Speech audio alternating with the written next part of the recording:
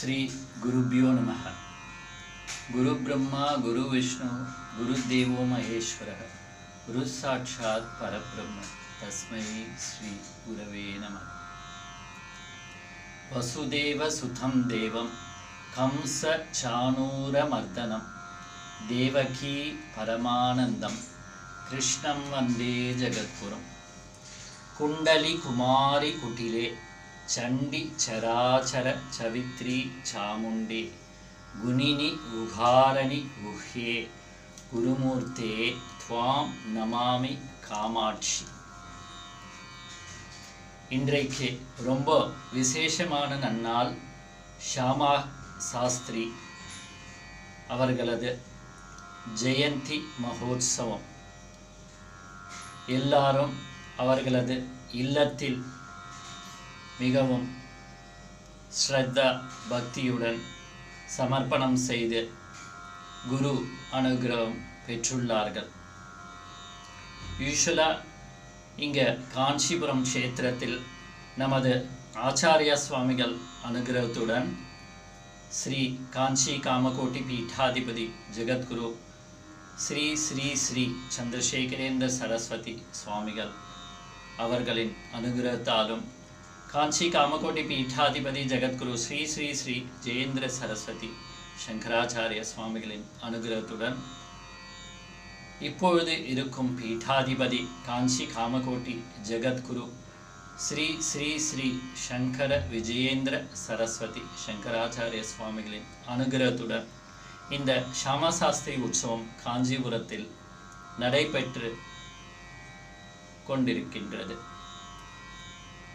இந்த வருடம் தவிர்க்க முடியாத காரணத்தால் எல்லா வித்வான்களும் தங்களது இல்லத்தில் எங்கிருந்தாலும் இந்த அம்பாளின் நினைத்து கொண்டு ஸ்மரணை செய்து பக்தி ஸ்ரத்தையுடன் சமர்ப்பணம் செய்துள்ளார்கள். இன்றைய தினம் காலை விசேஷமான அபிஷேகம் நடைபெற்று கோஷ்டி கானம் அவர்களது இல்லத்தில் நடைபெற்றுள்ளது. நாம் இதிலிருந்து என்ன தெரிந்து கொள்ள வேண்டும் என்றால்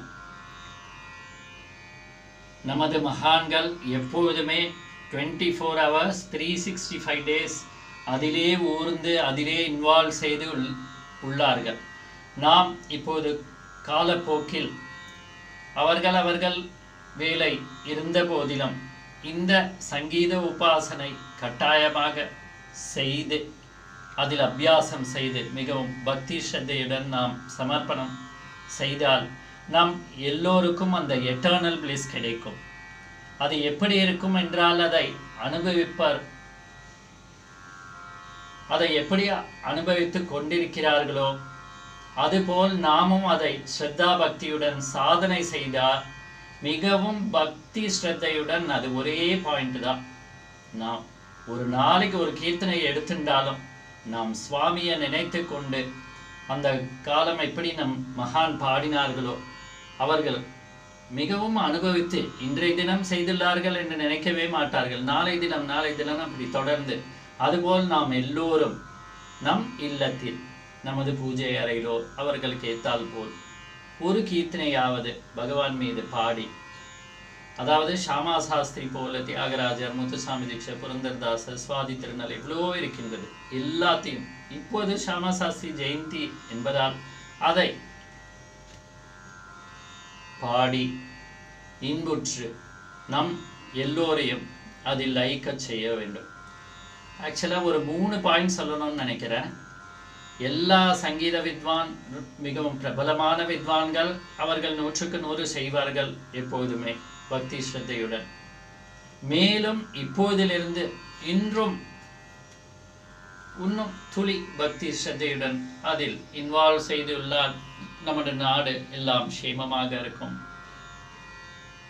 ரெண்டாவது கேட்டகரி கற்றுக்கொண்டு இருப்பவர்கள் எல்லாருமே இப்போது நிறைய பேர் கற்றுக்கொண்டு இருக்கிறார்கள் எல்லா ஸ்டேட்லேருந்து எல்லா வித்வான்கள் அவர்கள் அந்த மீனிங் தெரிஞ்சு அந்த பாஷை தெரிஞ்சு அதில் லயித்து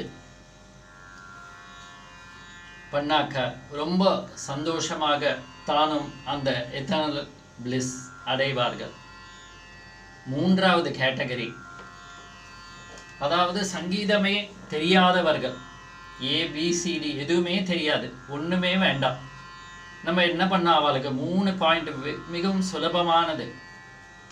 ஒரு பாட்டு அன்றை டெய்லி ரொட்டீனில் சும்மா யாரோ ஏதோ கேசட்லேயோ டேப்லேயோ ரேடியோலேயோ யூடியூப்லேயோ அவர்கள் ஏத்தார் போல் ஒரு பாட்டு சும்மா கேட்கணும் அப்புறம் அந்த பாட்டு எப்படி இருக்கு அதோட மீனிங் தெரிஞ்சுக்கணும் சும்மா கொஞ்சம் கொஞ்சமாக வார்த்தை பாட்டு கேட்டுட்டு அப்புறம் அதையே ஒரு இன்ஸ்ட்ருமெண்ட்டில் கேட்கணும் வீணையிலையோ ஃப்ளூட்லேயோ மேண்டலினோ வயலனோ நாதஸ்வரமோ அப்போது அவளுக்கு அதில் ஈர்ப்பு ஆயிடும் அப்போது அது என்னவோ இருக்குது அப்புறம் உடனே அதை கேட்டு கேட்டு கேட்டு கேட்டு அவளே அதில் பழகி அப்புறம் தினந்தோறும் அந்த உபாசனை ஆகிடும்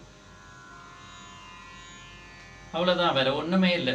மிகவும் பக்தி சத்தை வேணும் அதில் டெடிகேஷன் அப்படி எல்லாரும் இருந்தால் மொத்தமே பாசிட்டிவ் வைப்ரேஷன் நம் இந்தியா மட்டும் இல்லை பூராவும் இருந்து எல்லோருக்கும் அது குடும்பக்ஷேமமும் நமது லோகமும் சௌக்கியமாக இருக்கும்.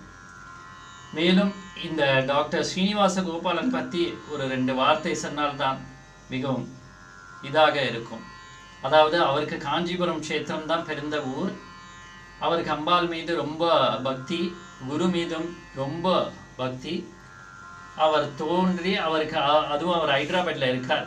இங்கே பண்ணணும்னு அவருக்கு வாக்கு வந்து இங்கே காஞ்சிபுரம் க்ஷேத்திரத்தில் இது நடந்துட்டுருக்கு இதே போல அவருக்கு மனசெல்லாம் ஒரு வாரம் ஹைதராபாத்ல இருந்தாலும் இங்க நினைப்பதா இருந்தது.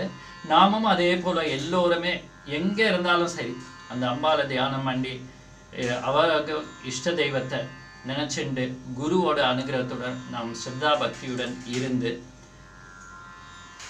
டெடிகேட்டடா சேவை செய்ய வேண்டும் என்று பிரார்த்தனை செய்து அம்பாளின் அனுகிரகம் எல்லோருக்கும் கிடைக்கும்படி பிரார்த்தனை செய்கின்றோம்.